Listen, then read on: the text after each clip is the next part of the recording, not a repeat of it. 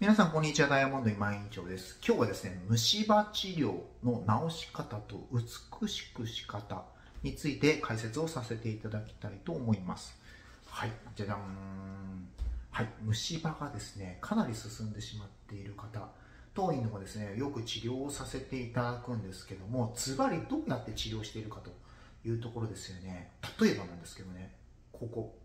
ここは虫歯の詰め物がしてあってでその脇からですね、ま着色だったりとか虫歯が新たに進んでいるというような状態ですよね。これはですね新たにここを引き離してですね中が虫歯になってないかしっかりと確認してからセラミックをかぶせていって美しくしていきます。ではズバリこういう歯ってどうなのというところなんですけどね。これぐらい歯が溶けてしまっている場合っていうのは残せる確率はですね70%ぐらい。僕は基本的に歯は抜かずに残すという方針なんですけども30%の場合は残念ながら歯が残せないんですね。そこの基準はじゃあズバリ何かというと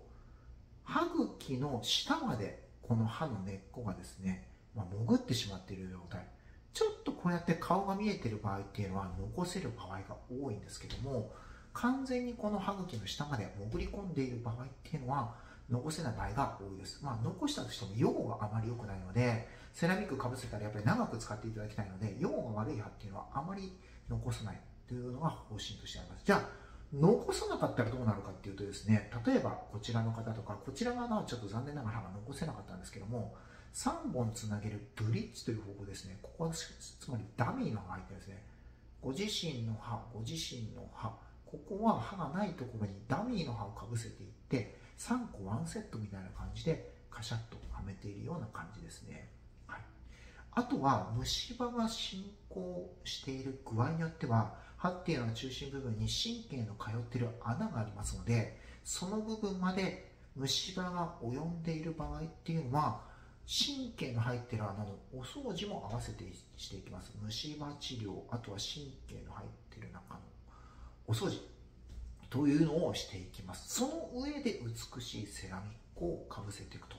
いうのがポイントになってくるかなと思います。こういったところはですね、部分的に虫歯治療してかぶせていくんですけども、重度の虫歯、神経まで及んでいるもしくは及びそうなところは、そこの治療をしっかりとさせていただくという感じになってますね。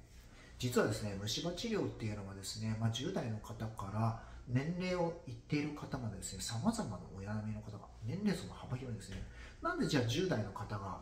虫歯になってしまうかというと一番虫歯になりやすい第一ポイントっていうのがあってそれは大人の歯に生え変わる時なんですね大人の歯に生え変わるタイミングって生えてる時っていうのはすごくね無防備な状態歯がですね弱い状態なのでそこに例えば甘いものだったりとか酸性のものとかを取り込んでしまって歯ブラシがうまくできなかったりすると外側がですね虫歯になってしまってまあどんどん進行してしまって結構若い年齢僕で言うとね1 5 6歳ぐらいの方でもですね虫歯が重度に進んでしまってセラミックをしたっていうケースがありますね。なんで虫歯の生え変わりのタイミングここは非常に大事になってくるので親御さんご本人ですね非常にその生え変わりのタイミングの歯ブラシ気をつけていただくと。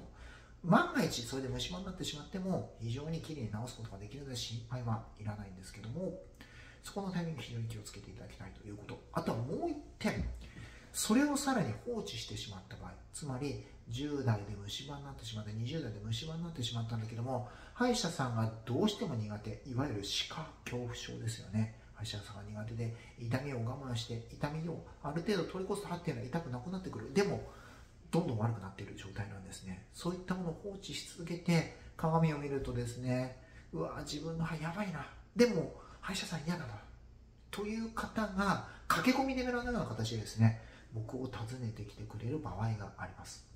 はい。そういった方の治療もしっかりとできます。じゃあ、今井は恐怖心とかなく虫歯治療できるのかというとですね、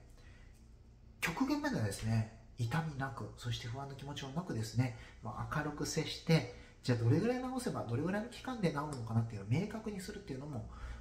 加えながらですね、まあ、あの頑張って通っていただくということも一つ目標にしてるんですけども、あとは静脈内鎮静法ですね、まあ、いわゆる点滴麻酔というものです。はい、腕からですね、まあえーと、眠くなるようなお薬を入れてですね、眠りながら虫歯の治療ができるというのも、えー、やっております。正確なデータは取ってないんですけどおそらく静脈内鎮静法で虫歯の治療ができるクリニックっていうのがですね、まあ、7万件ぐらいある歯医者さんの中で1%程度もしくはその未満かもしれないですね。つまりまあ700件とかいうぐらいかもしれないですね。当院ではあらゆる方法を使って歯医者さんが苦手な方虫歯が進んでいるけども歯医者さんに通えない方そういった方を